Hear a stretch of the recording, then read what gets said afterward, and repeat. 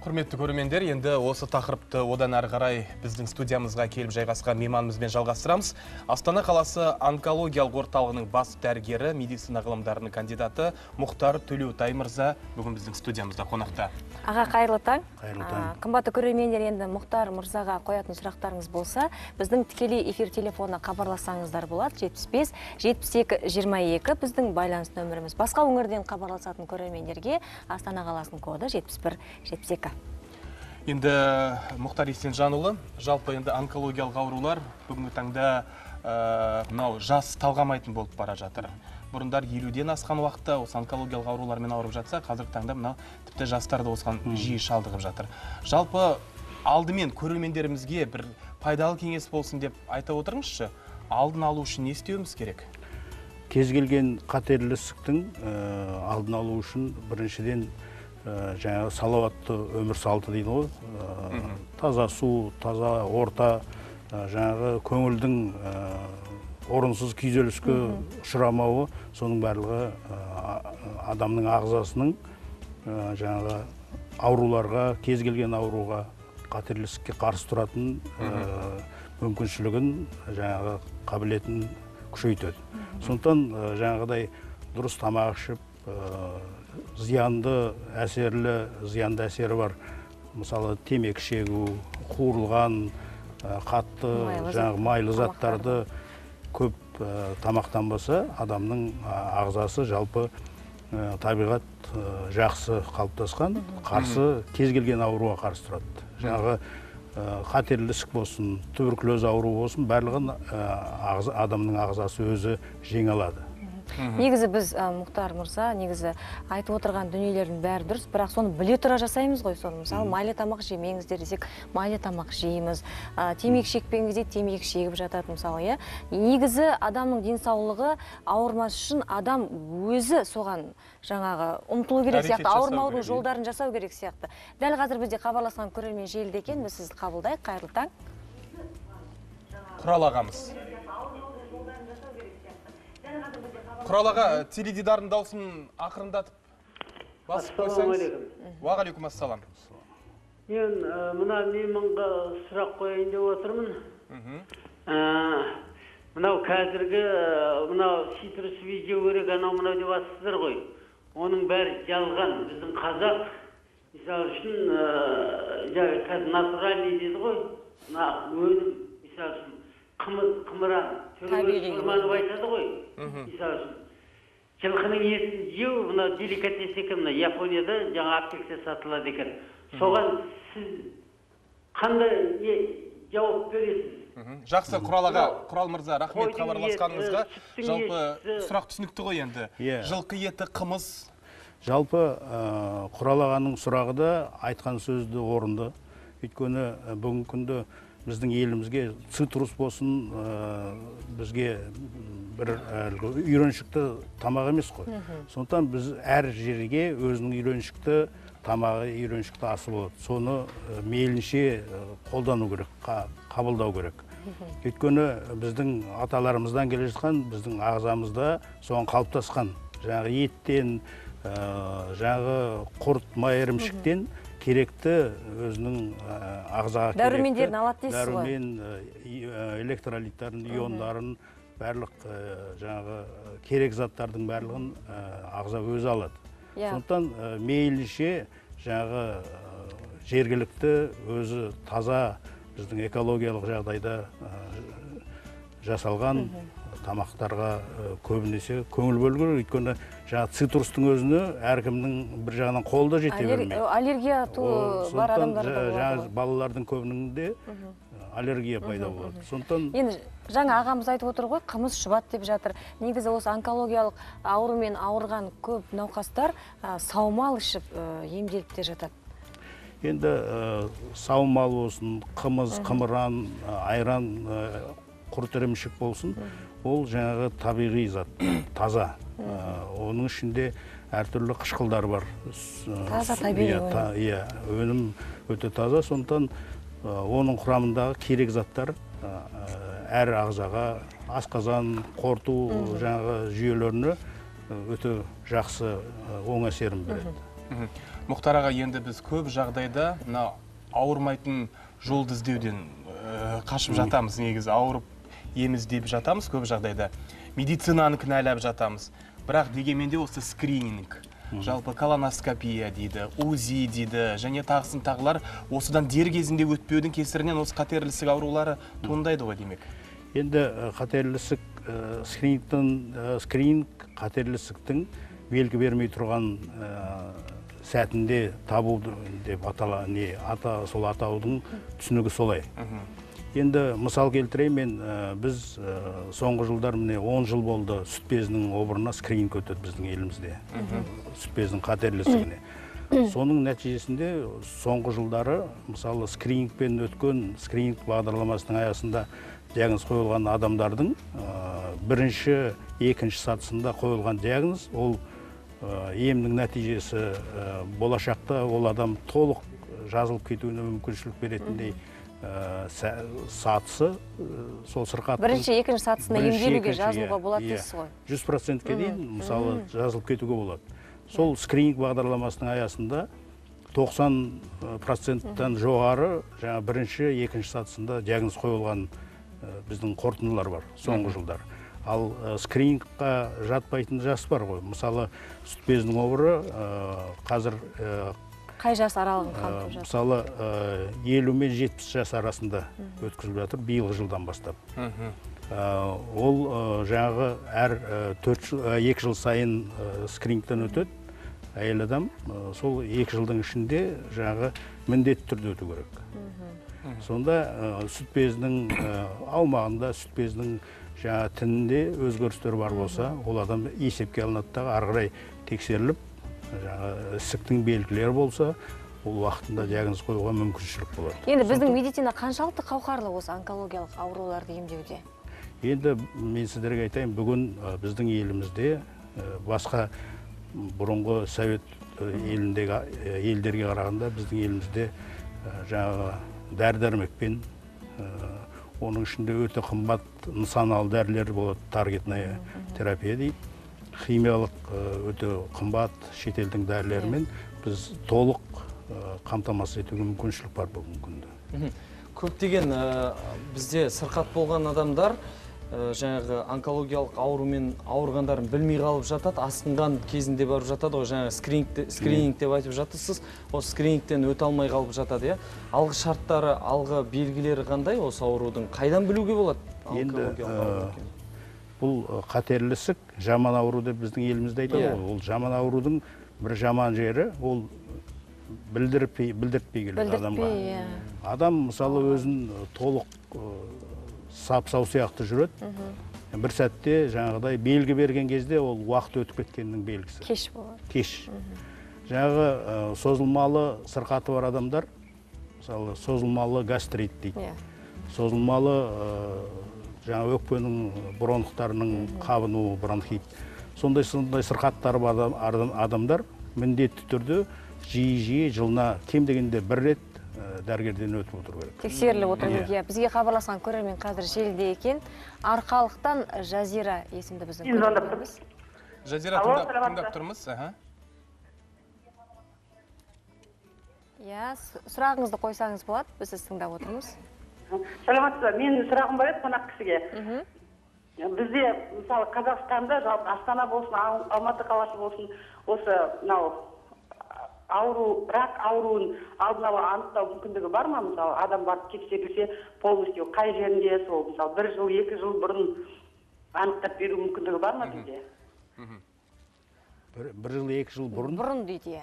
Жалпы алдын алдын ала енді ол сұраққа жаңа скрининг деп басқа да жауап беріп кеттік бірақ Иә. дегенмен де А, енді ол әр ә, кез келген қазақстан азаматы өзінің жергілікті емханасында жылына бір рет барып тексерілуге асықпай жаңағыдай аптықпай уақытында барып тексерілуге мүмкіншіліктері бар енді бүгін ә, біздің елімізде ә, кеңінен әлгі сән болып кеткен ә, мәселе бар ғой шетелге барып чекап дейді. Иә чекап тексеруден иә. өтеді мысалы оңтүстік корея болсын израиль э, европаның елдеріне Иә. барып өтеді.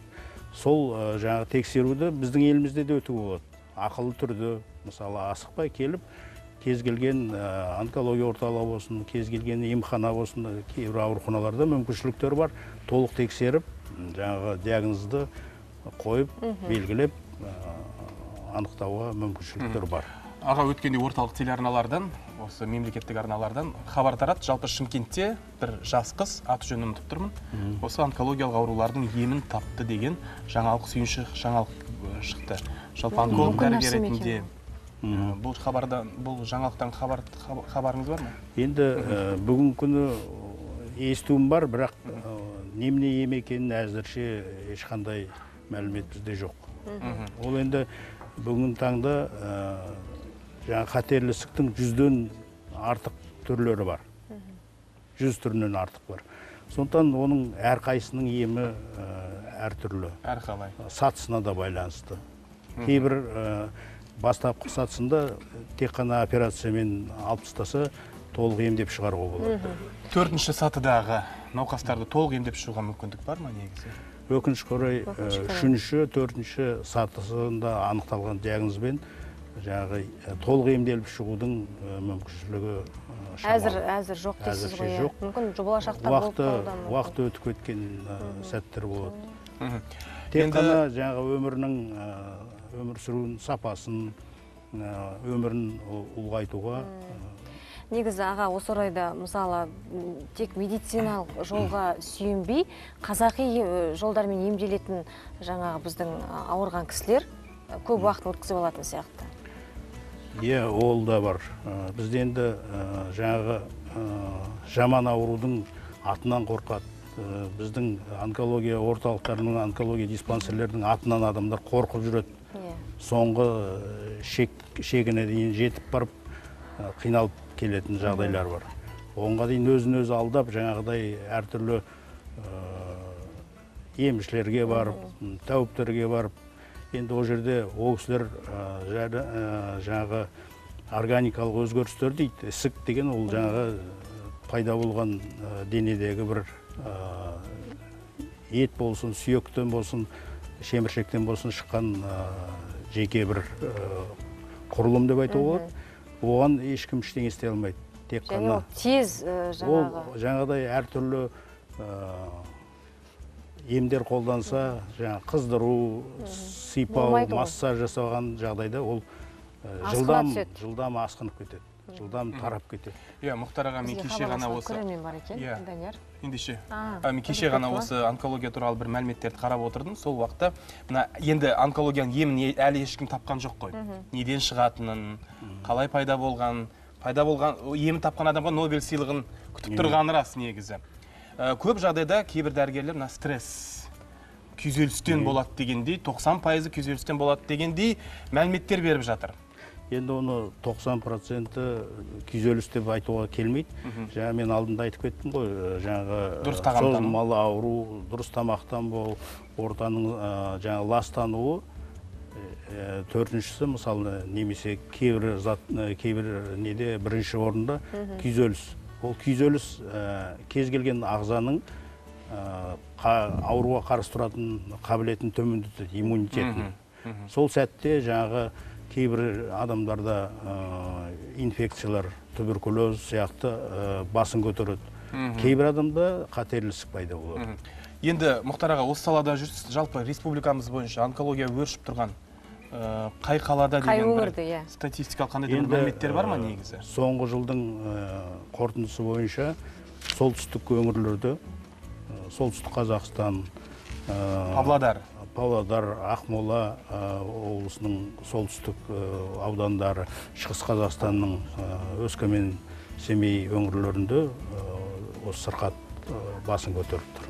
Бұл зауыт фабрикалардың әсерінен болуы мүмкін бе? Өйткені павлодарда да өскеменде де Иә, лидер қалаларында да. енді оны өндіріс орындары өте көп. ол ә, зиянды әсері бар бірақ тек қана соның әсерінен болды деп айтуға келмейді.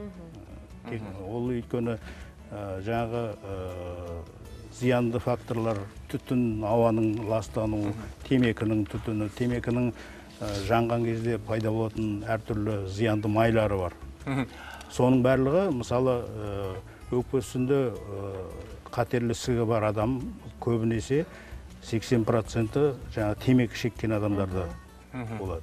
Ал астана қаласы бойынша өткен жылдармен салыстырған кезде осы онкологиялық көрсеткіштер қандай да- э, жа- жағдайда енді таңда? 17 жылы э, біздің көрсеткіштеріміз э, жақсарды. Ол қалай жаңа аурушаңдықтың көрсеткіші төмендеді және осы қатерлі өлім көрсеткіші де төмендеді. Төмендеді демек? Төмендеді иә. Енді жаңағы бірінші сатысында қойылған диагноз былтырғы жылға қарағанда бұл ә, 16 жылы егер 26 процент болса 17 жылдың қорытындысымен 32-33 процентке тақау бірінші сатысында табып отыр.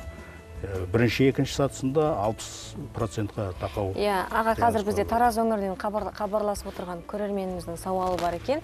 Аманкүл апай сіз желдесіз қайырлы таң. Қайырлы таң амангүл апай. Сәлеметсіз бе? Амангүл апай сіз эфирдесіз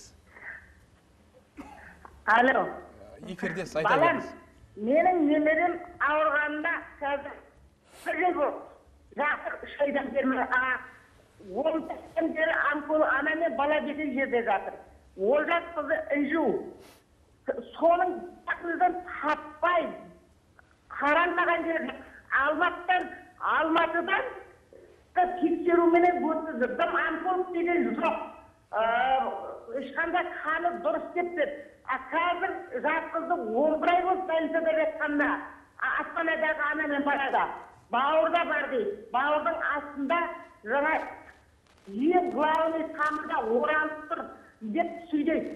Үш айдағы үш ай үш айлық қой. Бәрін істеп жатыр. Сол тамырдағы онкологты ала алмаймыз дейді. Операция жасап астыда жауып қойды. Екі екі жасында жатты қазір үш жасты сол больницаның ішінде толтырды менің қиналып жатырмын ғой жаным ау. Ол үш жастағы бала менің күйзелісіме түсті? үлкен адам күйзелсін Күйзеліс. бес айлық алты айлық бала менің күйзелісіме түседі мен көзімнен қан ағып жылап отырмын. Үш жас. Енді кішкентай сәбилер де ауырады. Жаңа кез келген жасқа бұл ауру жаңағы тек қана деп отыр ғой кішкен- кішкентай иә балада. тек қана елуден асқан адамдар емес кейде жаңа туған балада да қатерлі ісік болуы мүмкін. Ол көбінесе жаңағы анасының ә, жүкті болып жүрген кезде әртүрлі зиянды әсері болуы мүмкін. Ә, жаңағы ортаның ауаның ә, мысалы әртүрлі вирусты аурулар жаңағы тұмау сияқты ауру егер бірінші үш айлығында жаңағы жүктіліктің бірінші үш айында ауырса ана ол анада балада әртүрлі жаңағы кемшілікпен туатын бала сол кезде болуы мүмкін. Немесе ә, кейбір балаларда әртүрлі ісіктер пайда болуы мүмкін. Сондықтан жаңағы ә, ананың денсаулығы тікелей жаңағы баланың нәрестенің денсаулығына байланысты деп ә, айту керек. Сондықтан ана ә, жүкті боларда жоспарлау керек ә, жүктілік кезінде сақтану керек. Енді жаңағы апамыздың кішкентай немересінің осы ауруханада жатқанына бір жылдың көлемі болыпты енді үш жасын үш жасын сол жерде қарсы ал- қарсы алды дейді үш жасын. Қаншалықты енді ол әлі ұзақ жатады ол жерде? Енді әлі диагнозы дұрыс қойылмаса. ол енді ә, бір жағынан балаларда ә, қатерлі ісік көбінесе қан ауруының ә, қатерлі ісігі бірінші орында балаларда. Ә, ол ә, бүгінгі күнде ем, емделетін сырқаттардың біреуі оның әртүрлі әдістері бар. Жаңағы операция деп отыр. Ол жерде операция дегенде жаңағы мүмкін қанның жаңағы жасушаларын құю деген болады пересадка костного мозга дейді. Сондай мүмкін ә, операция керек шығар. Бірақ оған арнайы дайындау керек. Оны Дайындық ұзақ, ұзақ иә. ұзаққа созылады. Жылдап емделеді ол балалар. Сондықтан ә, оны қазір ә, ол дайындау баланың үстінде шығар бәлкім иә? Иә мүмкін ол сол ә, емдеу ә, сәт ә, сатыларында шығар мүмкін. Енді жас қазір ол баланы көрмейінше оның Ештеңе айта алмаймын дейсіз жаңағы ғой. ауру тарихымен иә. таныспайынша Иә, бірдеңе сәбидің ағзасы жалпы бұндай ауруларға төтеп беруге қалай? Негізі кез келген сәби үлкен ауруларды жеңе алады дейді ғой. Ағза күнделікті енді жаңарып отырғаннан ә, кейін. иә баланың сәбидің ә, организмі өте көп қой қазір. ағзасы жасушалары қалыптасуға қалпына келуге өте үлкен мүмкіншіліктер бар. Сондықтан м, жаңағыдай ә, ондай ауру кезіккеннен кейін бұл жерде шаршамай туыстары болсын дәрігерлер болсын шаршамай ем қолдану керек. Күту керек дейсіз Иә, ғой уақыт иә. уақыт керек. Мұхтар аға еңбектеріңіз өлшеусіз ә, оған шүбә жоқ. Өйткені әрбір науқаспен ә, жаңа ол кісінің емін дұрыс қабылдап ә, аяғынан тұрып кетуіне сіздердің еңбектеріңіз орасан зор. Ә, лайым халқымыз ауырмасын. Дендері сау болсын. Таңғы тілегіңізді қысқаша тыңдай кетейік енді. Енді құрметті жерлестер құрметті қазақстандықтар бұл жерде ауырып ем іздегенше ауыр, ауырмайтын жолын ізде деп дана халқымыз айтқан ғой. Сондықтан ә, аман болайық. Жаңа таза ә, көңіліміз таза болсын ортамыз таза болсын. Ә, әр ә, ниетіміз таза болса менің ойымша аурудың да мөлшері азаяды. Рахмет. Астана қаласы онкологиялық орталығының бас дәрігері мұхтар төлеутаев мырза бүгін студиямызда қонақта болды. Иә қымбатты көрермендер қазір арнамызда шағын аңдатпа. Одан кейін біз өздеріңізбен қайта қауышамыз.